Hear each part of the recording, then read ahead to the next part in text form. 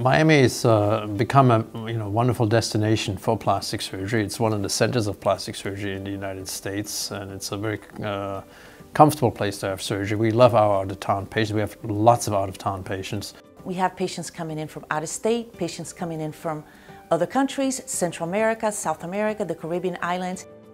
It's a wonderful city to live in. It's a wonderful city to visit. We have wonderful entertainment and nightlife and restaurants. So it's, it's a very multicultural environment. The weather in Miami is great, so they can come in any time of the year to have surgery.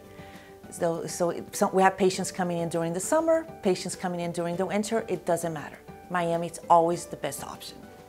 Most of our out-of-town patients stay for one to two weeks in Miami and we organize the hotel for the patients typically close to our office, close to our surgery center.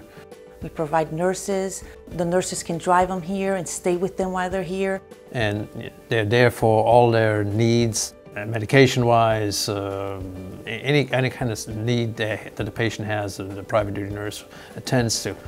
A lot of patients, they don't, they don't know anybody. They're coming here for the first time. They're meeting the doctor for the first time. So we have to make them feel good, you know, happy. It's all about feeling comfortable. You know, they want to come back.